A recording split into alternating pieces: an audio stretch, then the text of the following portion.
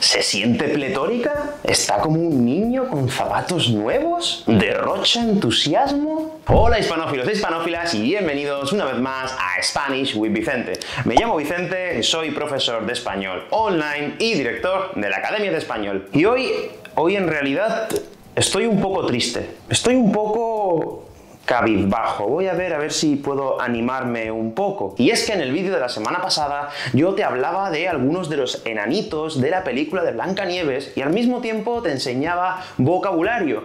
Pero me di cuenta, después de leer todos estos comentarios que hay por ahí, que yo solo hablaba de enanitos que están siempre tristes, malhumorados o que son muy gruñones. Así que todos vosotros practicasteis diciéndome que sois muy gruñones que siempre estáis de malas pulgas o que siempre estáis de mala leche. Y me di cuenta de que lo que hice con el vídeo fue promover un poco la, tristeza, promover un poco el mal rollo. Chicos, chicas, yo quiero que aprendáis español, pero es que yo me pongo muy triste cuando veo que todos los comentarios son tan negativos. Ay, es broma. Hoy estoy haciendo este vídeo para enseñarte vocabulario relacionado con la felicidad y con la alegría. Y para ello vamos a hablar de uno de los personajes que aparece en la película del revés. Bueno, esta película a lo mejor la conoces porque en inglés se dice Inside Out, pero en español se llama Del revés. Y vamos a hablar de la personaje principal, vamos a hablar de Alegría. Pues bueno, creo que es el mejor personaje de la película para enseñarte vocabulario relacionado con la alegría y con la felicidad. ¿Estáis preparados y preparadas? ¡Adelante!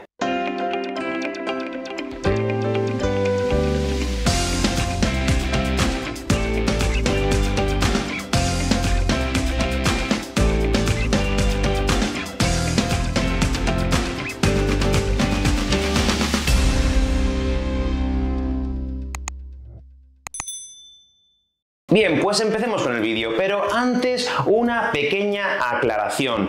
Yo a lo largo de este vídeo voy a hablar de alegría, no de la alegría, voy a hablar de alegría. ¿Y por qué digo que voy a hablar de alegría y no de la alegría? Bien, porque alegría es el nombre de este personaje en la película del revés. Así que ten muy en cuenta que alegría en este caso es un nombre propio, como puede serlo Vicente, eh, Pepita o Fulanito. Bueno, Fulanito realmente no es un nombre muy común, pero es el nombre que más utilizamos en los ejemplos, cuando no queremos pensar en un nombre. Pero bueno, da igual, vamos a empezar con el vídeo. Bien, pues vamos a empezar, como ya te he dicho, hablando de alegría, de este personaje que aparece en, bueno, más que personaje, de esta emoción que aparece en la película del revés. ¿Y qué podemos decir de alegría. Bien, pues alegría, voy a decir que es una persona, ¿vale? Porque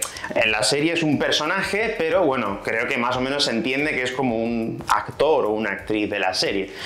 Es esta típica persona de la que tú siempre quieres estar rodeado. Quieres tener a personas como alegría alrededor. ¿Por qué? Porque son personas que siempre te levantan los ánimos, que siempre te, te llenan de alegría, te llenan de felicidad, te levantan los ánimos, ¿no?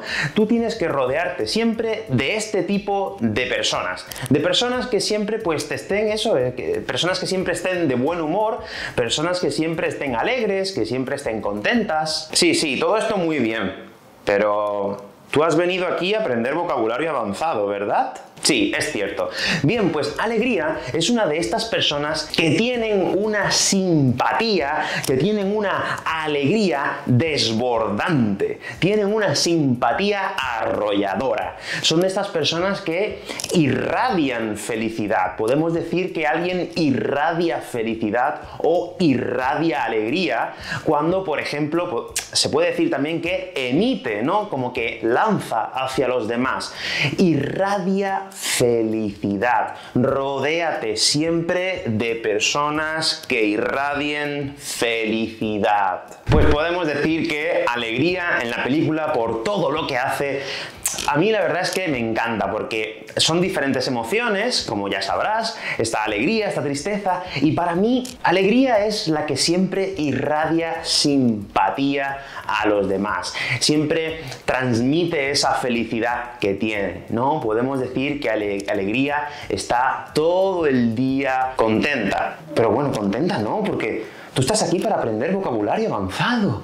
¿Cómo podría decirlo de una forma un poco más avanzada? Podemos decir que alegría está todo el día como un niño o como una niña con zapatos nuevos. Cuando una persona está como un niño con zapatos nuevos, lo que quiere decir es que esta persona siempre está súper contenta, súper alegre. Es una expresión que utilizamos aquí en España, es una expresión más o menos formal del día a día y que significa esto, pues que una persona se siente muy alegre o que una persona se siente muy contenta. Entre tú y yo, si vas a hacer un examen DELE, por ejemplo, usa esta expresión.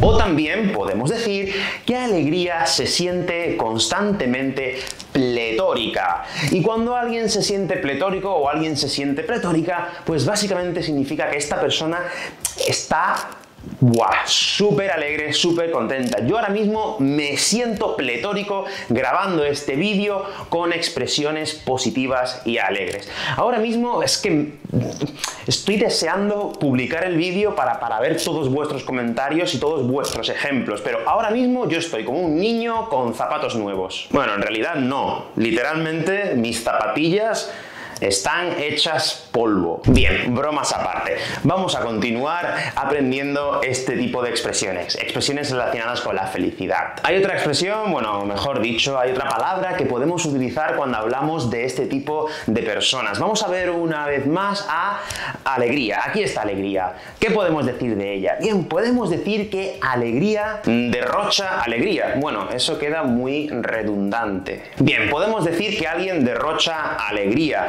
pero también podemos decir que alguien derrocha entusiasmo. Cuando a alguien le apasiona mucho lo que está haciendo, podemos decir, ¡eh! Esa persona derrocha entusiasmo.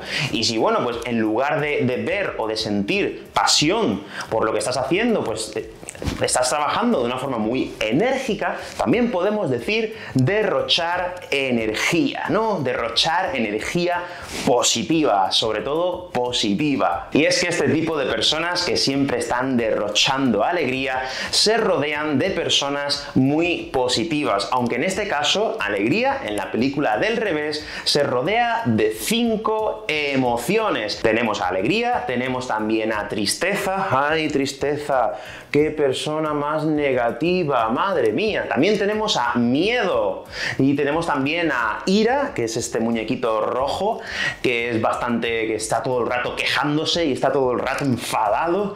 Madre mía, qué mala leche tiene este tío. A que ahora sabes ya lo que significa estar de mala leche, ¿verdad? ¿No lo sabes? Pues vete al vídeo de la semana pasada y vas a aprender qué significa esta expresión. Y también tenemos a la quinta emoción, que si no me equivoco era asco. Pero bueno, da igual. En la Academia de Español, en la lección número 5 del curso Rumbo al B2, eh, bueno, pues esta lección está basada en esta película y analizo a todos los personajes, ¿vale? Si quieres profundizar un poco más, aunque sea del nivel B2, créeme que es un curso bastante interesante. Además, lo estoy haciendo ahora mismo y bueno, el feedback, el feedback que estoy recibiendo de, de muchos de los estudiantes que ya lo están haciendo, pues es bastante positivo. Así que si te apetece unirte, te voy a dejar un enlace en la descripción Bien, pues continuemos. Hemos dicho que una persona puede derrochar, derrochar alegría, derrochar entusiasmo y también podemos decir que derrocha energía, pero también podemos decir que una persona está rebosante de alegría, está rebosante de felicidad. Cuando vamos por la calle, vemos a una persona que va muy contenta y tal, podemos decir, ¡hey! Esa persona está rebosante. O podemos decir, está rebosante de felicidad. Está rebosante de felicidad, está rebosante de alegría, pero también, si quieres, podemos decir, está rebosante de satisfacción.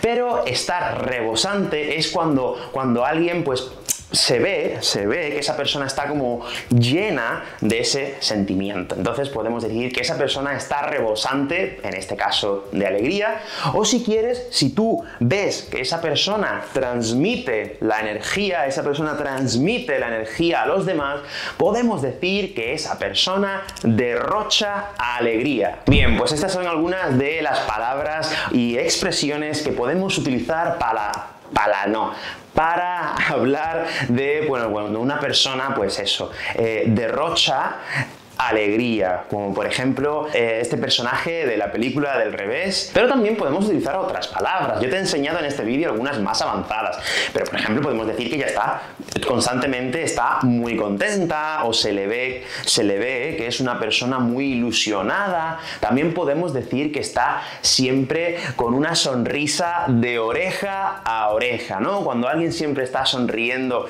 se le ve que es una persona que derrocha felicidad, podemos decir que esa persona pues tiene, o también podemos usar el verbo sonríe, sonreír, sonríe de oreja a oreja. A mí me encantan las personas que van por la calle con una sonrisa de oreja a oreja. Bueno, se entiende por qué utilizamos esta expresión, ¿verdad? Tener o llevar o sonreír de oreja a oreja. Bastante sencillo, porque llevamos nuestra sonrisa desde una oreja hasta la otra. Vale, esto creo que no, no hacía falta que lo explicara Bien, te quiero enseñar una cosita más antes de terminar, y es hacer ilusión. Y es que la verdad es que, pues mientras estaba, mientras estaba viendo la película, estaba pensando en esta expresión.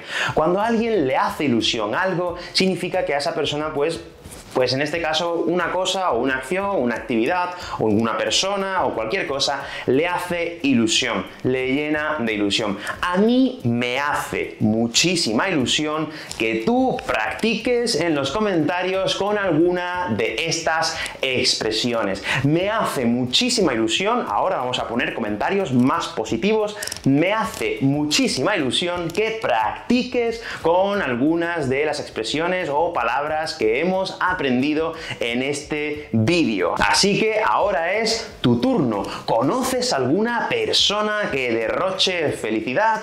¿Conoces alguna persona que esté siempre rebosante de alegría? Este tipo de personas que siempre se sienten pletóricas, ¿la conoces? ¿Sí? Pues dime, dímelo en los comentarios y háblame un poco de esta persona utilizando el vocabulario de esta lección, porque eso me haría muchísima ilusión. Bien, bueno, pues hasta aquí el vídeo de hoy. Como siempre, espero que hayas aprendido un montón de vocabulario. Y vamos a hacer una cosa para el próximo vídeo. Si quieres aprender más vocabulario con algún personaje de alguna película, con algún actor famoso, con cualquier persona del mundo, o puede ser cualquier, cualquier objeto, con cualquier cosa, dímelo en los comentarios. Y el comentario con más me gustas, lo que voy a hacer es hacer un vídeo enseñándote vocabulario exactamente tal y como lo he hecho hoy. Así que deja tu ejemplo o deja tu sugerencia en los comentarios y vota también, puedes votar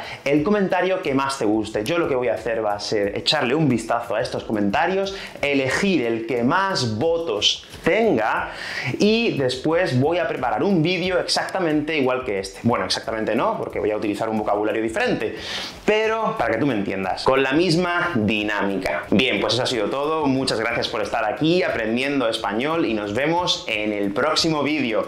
¡Hasta luego!